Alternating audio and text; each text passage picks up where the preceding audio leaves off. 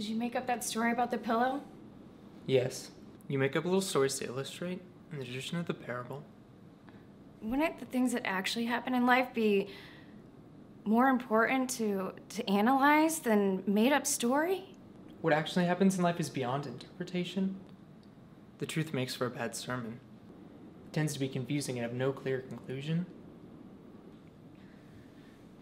I received a letter from my brother in Maryland yesterday. He's very sick. Maybe you should go and see him. I can't leave my class. How's Don Muller doing? I don't know. You don't see him? I see him every day. I just don't know how he's doing. I don't know how to judge these things now. I've stopped speaking to him for fear of being misunderstood. Isn't that a shame? I actually avoided him the other day in the hall, and I might have passed him. He doesn't understand why. I noticed you didn't come to me for confession. No, I, I went to Monsignor Benedict. He's very kind. I wasn't? It wasn't that. You know. You know why. You're against me. No. You're not convinced? It's not for me to be convinced one way or the other. It's Sister Aloysius. Are you just an extension of her? She's my superior. But what about you? I wish I knew nothing of it whatsoever. I wish the idea had never even come into my mind. How did it enter your mind? Sister Aloysius. I feel as if my reputation has been damaged through no fault of my own, but I'm reluctant to take steps necessary to repair for fear of doing further harm. It's frustrating, I can tell you that. Is it true?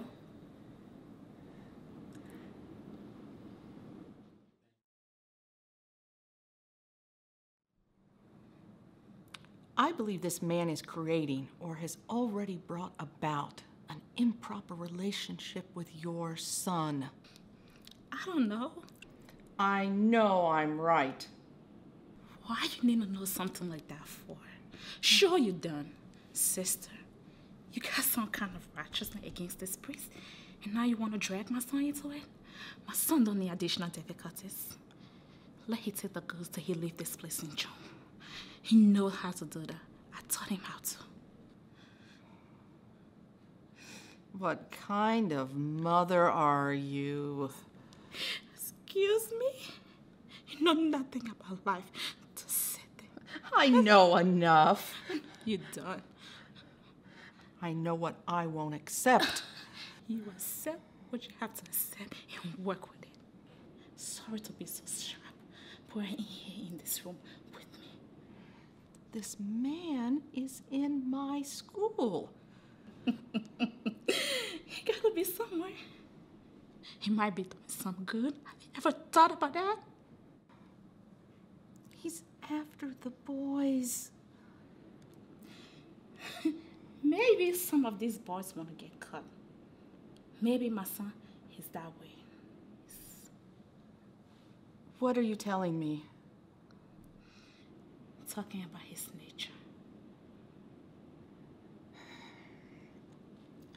Listen to me with care, Mrs. Muller. I'm only interested in actions. It's hopeless to discuss a child's possible inclination. I'm finding it difficult enough to address a man's deeds. This isn't about what the boy may be, but what the man is. It's about the man. You are the one allowing people to say things aloud. It's about the man.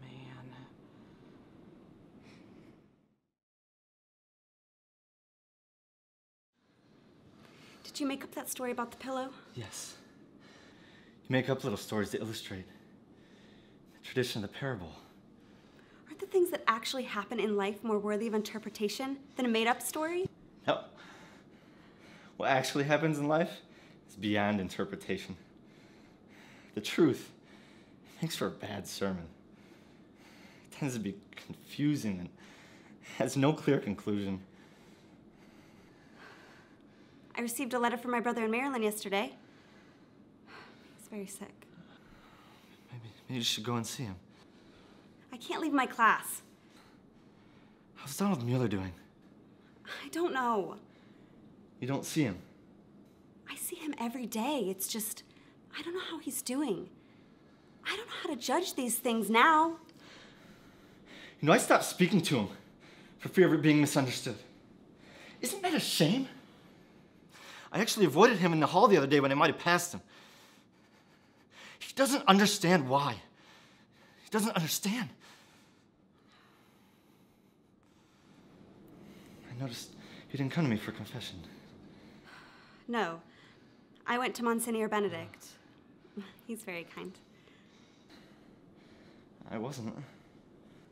It wasn't that. As you know. You know why. You're against me. No, You're not convinced. It's not for me to be convinced one way or the other. It's Sister Aloysius. Are you just an extension of her? She's my superior. What about you? I wish I knew nothing whatever about it. I wish the idea had never entered my mind. How did the idea enter your mind? Sister Aloysius.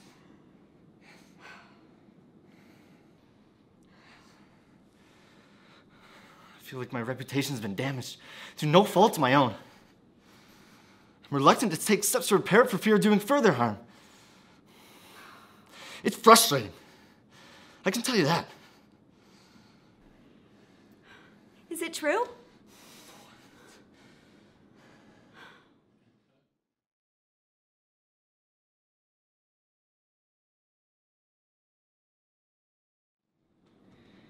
Believe this man is creating or has already brought about an improper relationship with your son. I don't know. I know I'm right. Why you need to know something like that for sure when you don't? Please, sister, you got some kind of righteous cause going with this priest, and now you want to drag my boy into it. My son doesn't need additional difficulties. Let him take the good and leave the rest when he leaves this place in June. He knows how to do that. I taught him how to do that. What kind of Excuse mother me. are you? You don't know enough about life to say a thing like that, sister. I know enough. you know the rules, maybe, but that don't cover it. I know what I won't accept. You accept what you gotta accept and you work with it. That's the truth I know. Sorry to be so sharp. You're in here in this room. This man is in my school. Well, he's gotta be somewhere. Maybe he's doing some good too. You ever think of that? He's after the boys. Well, maybe some of them boys wanna get caught. Maybe what you don't know, maybe, is my son is that way. That's why his father beat him, not the wine. He beat Donald for being what he is. What are you telling me? I'm his mother. I'm talking about his nature now, not anything he's done. But you can't hold a child responsible for what God gave him to be. Listen to me with care, Mrs. Muller. I'm only interested in actions. It's hopeless to discuss a child's possible inclination. I'm finding it difficult enough to address a man's deeds. This isn't about what a boy may be, but what the man is. It's about the man. But there's the boy's nature. Let's leave that out of it. Well, forget it then. You're the one forcing people to say these things out loud.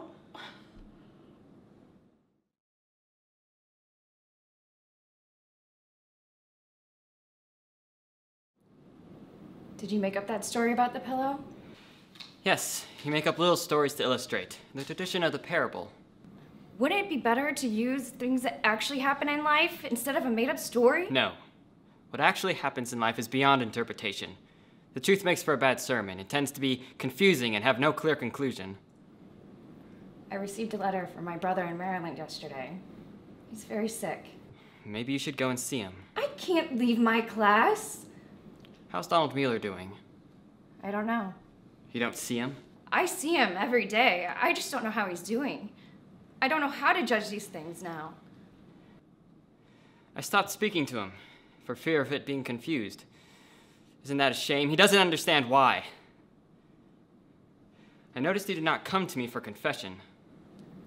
No, I went to Monsignor Benedict. He's very kind. And I wasn't? It wasn't that. You know, you know why. You're against me. No. You're not convinced. It's not for me to be convinced one way or the other. It's Sister Aloysius. Are you just an extension of her? She's my superior. But what about you?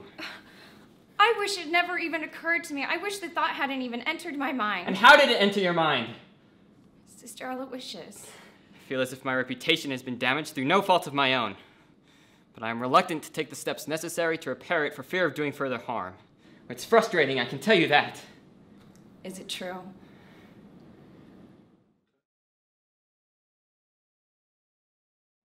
Did you make up that story about the pillow? Yes. You make up little stories to illustrate in the tradition of the parables. Aren't the things that actually happen in life more worthy of interpretation than a made up story? No. What actually happens in real life is beyond interpretation. The truth makes for a bad sermon. tends to be confusing and has no clear conclusion. I received a letter from my brother in Maryland yesterday. He's very sick. Maybe you should go see him. I can't leave my class. How's Donald Muller doing? I don't know. You don't see him? I see him every day. It's just, I don't know how he's doing. I don't know how to judge these things now. I actually avoided him the other day when I might have seen him in the hall. It's not his fault. He doesn't understand these things. I noticed you ain't come to me for a confession. No. I went to Monsignor Benedict. He's very kind. And I wasn't. It wasn't that. As you know. You against you me. You know why. You against me. No, no, I'm not. You're not convinced. It's not for me to be convinced one way or the other. It's Sister Aloysius. Are you an extension of her? She's my superior. What about you? I wish I knew nothing about it whatsoever. I wish the idea had never entered my mind. How did it enter your mind? Sister Aloysius. I feel my reputation is being damaged to no fault of my own, but I'm reluctant to take the necessary steps to repair it and fear of doing further harm.